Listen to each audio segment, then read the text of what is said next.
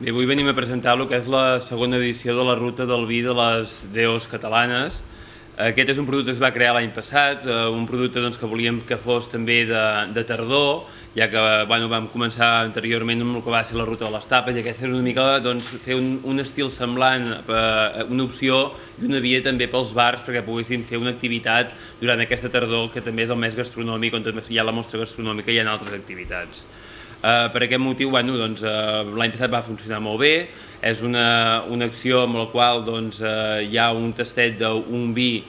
d'una demostració catalana a cada bar de la ciutat i de la comarca, i a partir d'aquí doncs, eh, bueno, hi ha diferents tipologies de, de vins que s'han mirat d'introduir en el que són aquests, aquests tastets.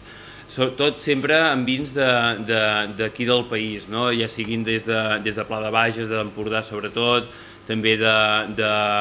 tenim del, del Priorat, tenim de, de Costers del Segre, etc etc podríem dir, no? Ah, també de la Museu d'Origen Cava, i a partir d'aquí el que hem buscat és això, doncs un maridatge entre el que és una tapa i un vi. Sobretot també hem volgut donar, doncs l'any passat vam, vam començar i va ser el primer any, i sí que vam trobar algunes deficiències amb el que van ser la, la, el tema de la ruta, no? i trobaves doncs, que bueno, doncs, les quantitats de vi a vegades eren massa per lo que era la, la tapa, i sí que hem mirat d'equilibrar el que és doncs, eh, tapa i, i, i copa de vi, que s'equilibri una miqueta tant amb el que és eh, la porció, la ració, amb el que és la, la quantitat de vi.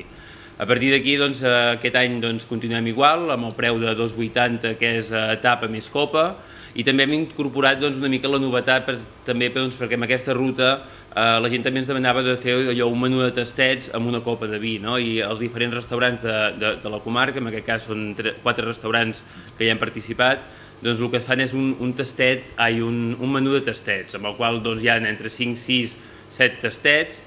juntament amb la copa de vi a un preu de 18 euros. Això doncs, complementa doncs, aquella gent doncs, que bueno, pot fer un o dos eh, establiments, bars, amb la qual pot fer la ruta de, de, la, de les DOs i pot acabar amb un àpat una miqueta més complet amb un restaurant també de l'associació. A partir d'aquí som 17 establiments que formem part d'aquesta campanya, i el que sí doncs, que, que veiem és doncs, que és una activitat amb la qual doncs, eh, tothom eh, s'hi ha sentit bé, s'hi ha sentit a gust, els establiments han repetit i sobretot doncs, veiem aquest retorn doncs, que la gent vol venir a provar, vol venir doncs, a, a, a vegades a provar vins que normalment no ha provat o, o de denominacions d'orígens que a vegades eh, no tenim als diferents establiments i això fa doncs, que primer de tot també els establiments ens posem al dia i tinguem vins del nostre país i deixem una mica enrere aquella tipologia de cartes amb el qual solament teníem eh, vins eh, més de,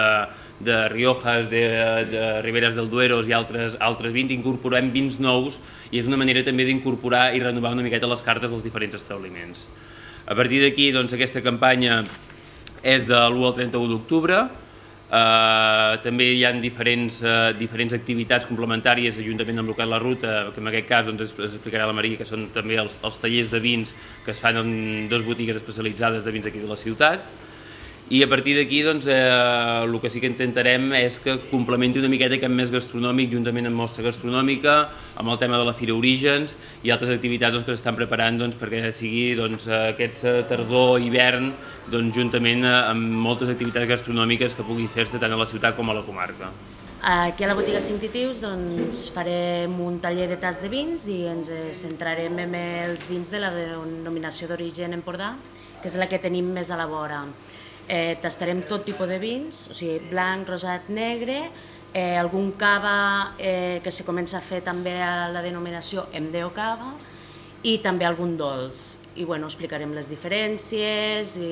una mica com tastar, i bueno, això és tot. Ho farem el dia 5 i 26 d'octubre a les 8 de la tarda. L'acció que fem de la ruta del vi és de l'1 al 30 d'octubre. Continuem que va tindre èxit el fet de que la gent pot segellar els seus passaports que trobaran al fulletó i completant aquests sis els posen aquestes caixes que haurà trobar altres aliments participants i que donem uns premis. Aquest any el premi per a la combinació dels passaports de la butlleta escollida pues, és una nit a l'Hotel Riu, quatre estrelles d'aquí Olot, que realment és un eh, espai fantàstic per anar a dormir, sobretot despertar-se al matí amb l'esborzar i amb les vistes que té de tot l'espai de la zona de la Font Moixina. I també comentar que han fet i continuem el concurs d'Instagram per tothom que s'hi vulgui apuntar,